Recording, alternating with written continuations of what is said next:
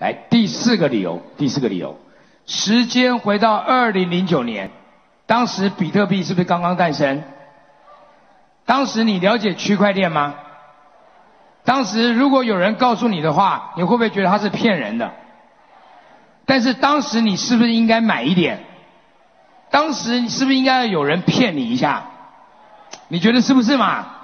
如果回到二零零九年，当时你买了一千块的比特币，现在多少钱？现在三十八亿，从一千块变成三十八亿。如果当时有人骗了你一万块去买比特币，今天多少钱？三百八十亿，三百八十亿。所以当时是不是没有人告诉你，也没有人去骗你？是不是很惨呢、是不是连被骗的机会都没有？真的是太惨了！做了这么的努力，每天工作的跟狗一样，结果连被骗的机会都没有。同不同意啊？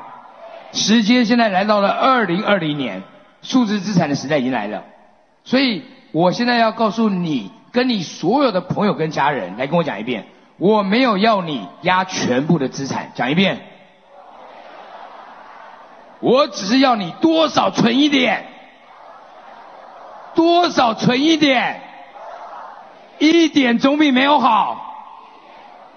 你说对吗？